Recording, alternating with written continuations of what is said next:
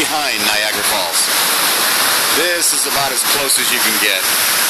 You really start to feel the power of the falls when you get into this situation. Sitting here at one of the uh, places you can tour, gotten off the boat, sailed up into the mist, but you really can see the power coming off of this thing now. Reminds you of a to be out in the surf with something this huge. Absolutely incredible. I'll pan across, oh my, camera's getting wet. A lot of mist coming across. Kind of see everybody all decked out in their yellow rain jackets, trying to stay dry.